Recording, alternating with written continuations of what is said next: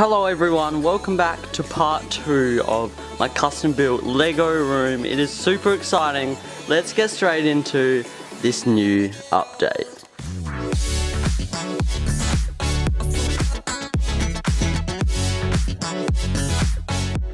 So guys, this is it. It is getting close now.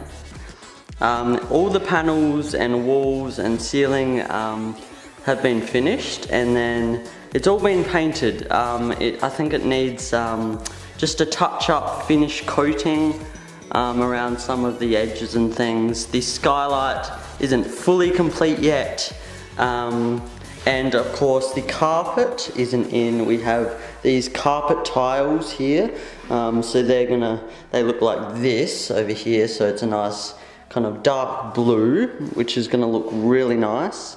Um, and then of course a door is gonna go in as well.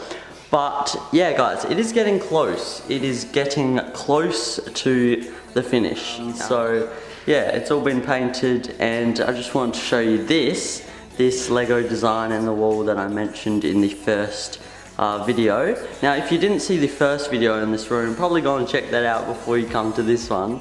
Um, but yeah, this is looking really good.